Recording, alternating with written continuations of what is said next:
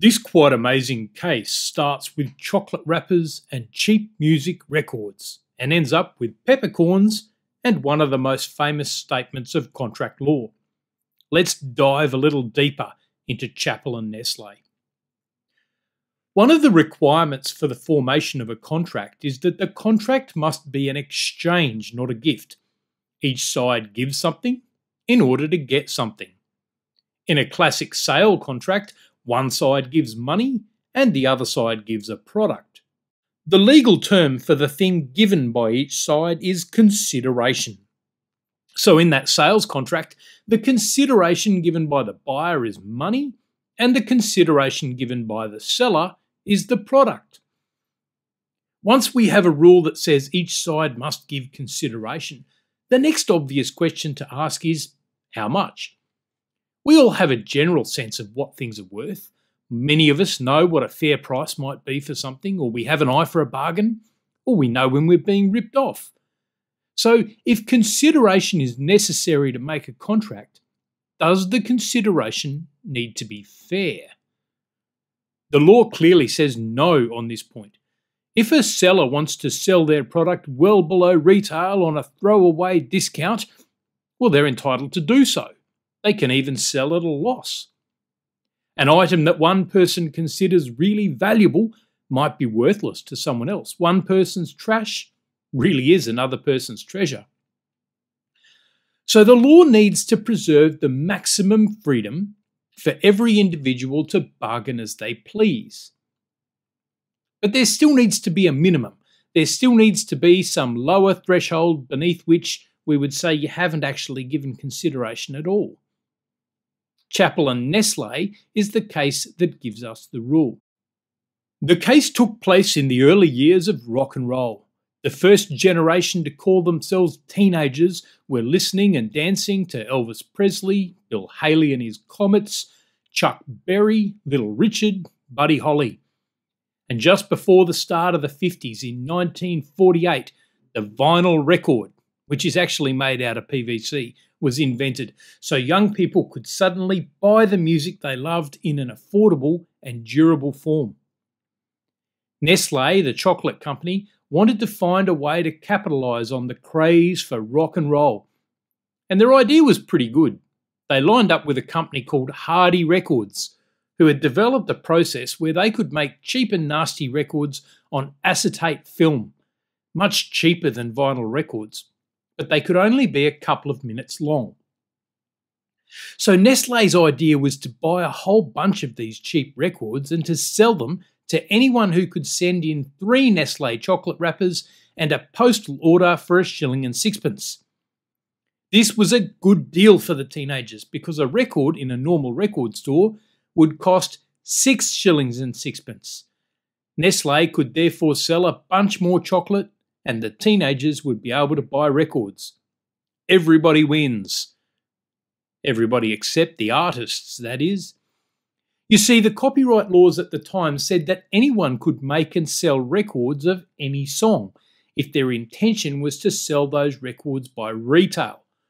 All the record manufacturer needed to do was pay a royalty to the artist of six and a quarter percent of the ordinary retail selling price of the record. From the artist's perspective, the Nestle promotion was a disaster. Instead of being entitled to six and a quarter percent of the full retail price of six shillings and sixpence, they would be entitled to six and a quarter percent of a much smaller price, one shilling and sixpence. And once the teenagers had the Nestle version of the record, why would they pay a bunch more money to get the vinyl version? The artists and the record producers wanted to put a stop to it. They chose as the vehicle for their case a song called Rockin' Shoes by a band called the King Brothers. Chappell and Co. were the copyright holders for the song, and this was one of the songs that Nestle were going to use for their promotion. Chappell and Co. therefore stood to lose a lot of money in royalties. They made a number of arguments, but in the end, the real issue came down to the nature of the chocolate wrappers. Remember, to buy a record, you had to send in three chocolate wrappers plus the money order. Here's how the argument went the law only allowed people to make records of other people's music if the records were to be sold at retail. It seems to have been quite well understood that a retail sale, in this sense, meant the simple exchange of money for a product. If the sale of these records was something other than a retail sale, well, then the copyright law wouldn't protect the record manufacturer and Nestle could be forced to stop selling the records. There were two completely different ways to see the chocolate wrappers. On the one hand, you could argue, and Chappell did argue, that the chocolate wrappers were part of the consideration given for the contract. The deal was Nestle would supply one record in return for three wrappers and some money. If that was the case, if the wrappers were part of the consideration, well, then the sale wasn't a retail sale anymore. It wasn't just money for a product. The alternative way to see the situation was that the wrappers were not part of the consideration. On this argument, having three chocolate wrappers was just a way to qualify to purchase the chocolates. So, on this argument, Nestle were saying, We will sell these records at retail for one shilling and sixpence, but we will only sell them to people who have bought three of our chocolates and who can prove it by sending us the wrappers. But the sale itself is just money for a record, and so it's a retail sale. The whole thing then came down to the nature of the chocolate wrappers. If they were part of the consideration, then it's no longer a retail sale and Chappell wins.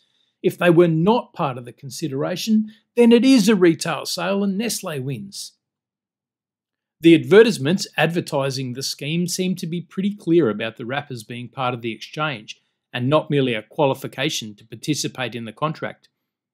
One of the ads cited in the judgment said, Remember, all you have to do to get each New Stars record is to send three wrappers from Nestle's sixpence milk chocolate bars together with a postal order for one and six. The majority judges found that the wrappers were part of the consideration. So Nestle gave the consumer a record, and the consumer gave Nestle three wrappers and a sum of money. But how do we reconcile this with the fact that the wrappers were just trash? They had no value in any practical sense. Some of the judges said that they had value because they signified that the person had spent sixpence on chocolate. But that seems a bit of an artificial argument. Lord Somervell of Harrow won the argument and wrote himself into legal history with the following observations. It is said that when received, the wrappers were of no value to Nestle's. This I would have thought irrelevant. A contracting party can stipulate for what consideration he chooses. A peppercorn does not cease to be good consideration if it's established that the promisee does not like pepper and will throw away the corn.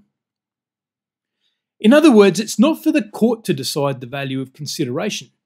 If the consideration has any value at all, even the value of a single peppercorn, it will be value enough, and the contracting parties can choose for themselves what consideration they want from the other side.